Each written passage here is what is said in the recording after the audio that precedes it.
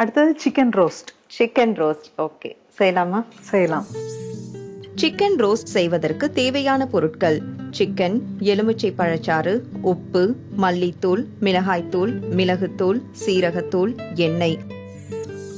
இதுவும் ரொம்ப சிம்பிள் தான்.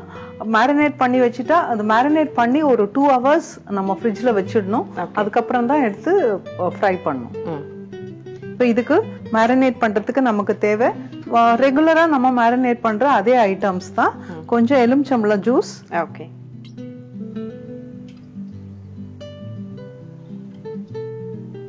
உப்பு.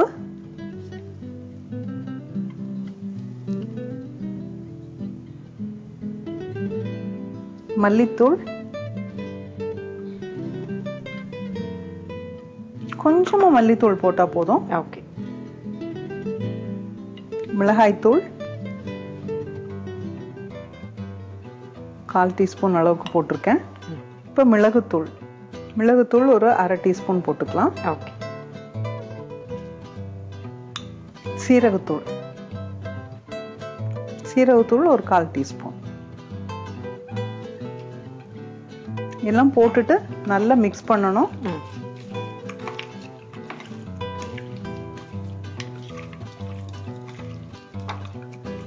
இதுக்கு வந்து காஷ்மீரி மிளகாய்த்தூள் போட்டா நல்ல கலர் வரும்.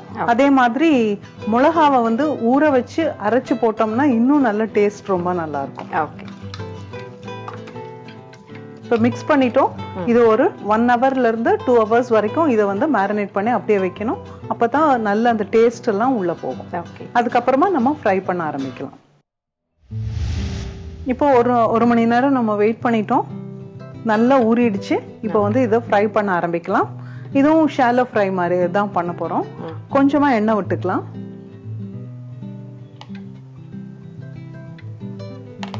பாத்திரத்துல ஒரு நாலு டேபிள் ஸ்பூன் அளவுக்கு எண்ணெய் ஊத்திக்கலாம்.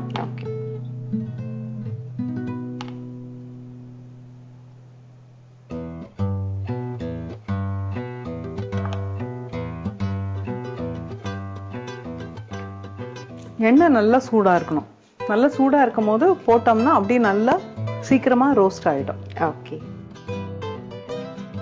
சரி என்ன காஞ்சிருச்சா மேம் எண்ணெய் காஞ்சிடுச்சு இப்போ இதை ரோஸ்ட் பண்ண ஆரம்பிக்கலாம். இப்போ ஒவ்வொரு பீஸா எடுத்து தனித்தனியா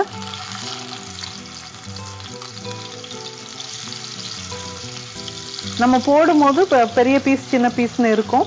இல்ல நமக்கு ஒரே மாதிரி வேணும்னா அந்த லெக் பீஸ் மட்டும் தனியாவும் வாங்கிட்டு பண்ணிக்கலாம். ஓகே.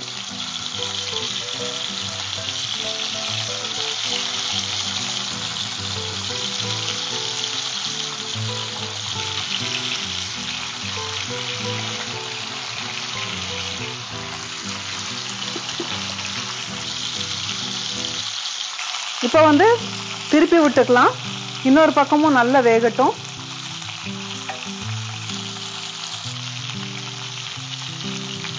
தேவைன்னா கொஞ்ச நேரம் மூடி வச்சுக்கலாம். அப்ப இன்னும் வேகமா அது குக் ஆகும்.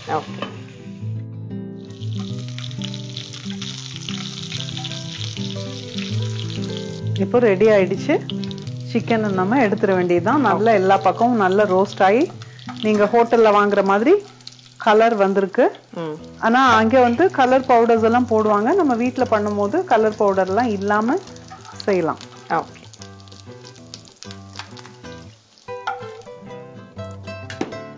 இது இப்போ இதுல கொஞ்சம் கருவேப்பிலை வறுத்து எடுத்து போட்டுருவோம்.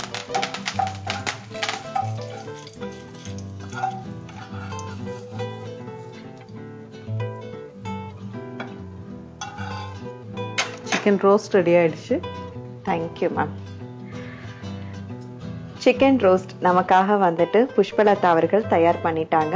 ஸோ எப்பவுமே நீங்கள் வந்து டிஃப்ரெண்ட்டாக சமைக்கிறதுல மட்டும் இல்லை மேம் அந்த ப்ரெசன்டேஷன்லேயும் வந்து பார்த்தீங்கன்னா அது ஒரு கருவேப்பிலையாக இருந்தாலும் அதை முறையாக வந்து பொறிச்சு போடணும் அப்படின்ற விஷயத்தெல்லாம் வந்து நல்லா மைண்டில் வச்சு அஹ், எப்பவுமே வந்து செய்வீங்க. ஸோ அதுவும் வந்து குக்கிங்கில் ஒரு ப்ளஸ் பாயிண்ட் அப்படின்னே சொல்லலாம். ஸோ இப்போ இதனுடைய சுவை எப்படி இருக்குன்னு பார்க்கலாம்.